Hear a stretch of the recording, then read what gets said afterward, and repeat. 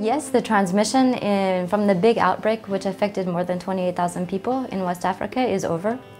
That said, um, we have seen periodically smaller outbreaks in each of the three countries, um, which have been stopped quite quickly by the Ministry of Health with a very good response.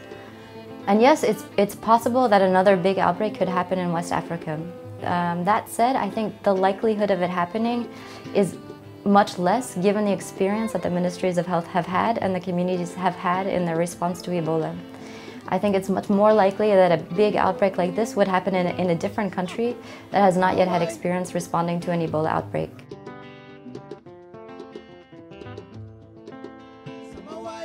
Yeah, there are plenty of long-term impacts on, in all of the three countries, from economic impact to schools closing, to medical schools closing for an extended period of time. When you look at Liberia, for example, before the outbreak, they only had 50 doctors. And then for one or two years, there's been no doctors who have graduated and other doctors who have died during the outbreak. Um, clinics have shut down, routine healthcare had shut down, so HIV testing, TB program, routine immunization for children. And now we're seeing in Monrovia, you see measles cases, just because there was no routine vaccination during this time. We're also seeing the psychological impact on the population on communities. Um, we're seeing PTSD and depression, and it, it, makes sense.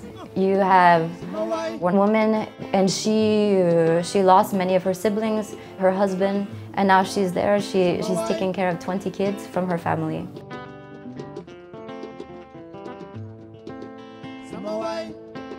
MSF was one of the the biggest actors in this response to the Ebola outbreak in West Africa in all three countries.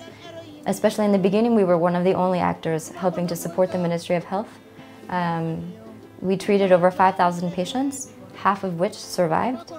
It was quite a difficult time and something that we had never seen before, so MSF, we also learned quite a lot. Now what we're doing is, is we're trying to create a new guideline for hemorrhagic fever for us as MSF in the future and also for other actors they can use and we can learn from these lessons. We're also working quite strongly to help find a vaccine, um, implementing clinical trials for one vaccine to see uh, if this will, will work whenever we have the opportunity with different ministries of health in different countries. Uh, we also have three survivor clinics, one in, in every country. And these were put in place because we were seeing that Ebola survivors, they have they have symptoms that continue after they're cured, uh, namely eye problems, generalized body pain, joint pain, aches and pains, as well as psychological problems. These clinics will end by the end of 2016 and the survivors will be reintegrated into their normal healthcare system. And MSF is really there to support the Ministry of Health, to provide these services and to reboot their healthcare system so that people have confidence again to come to the healthcare centers and to get the care that they need.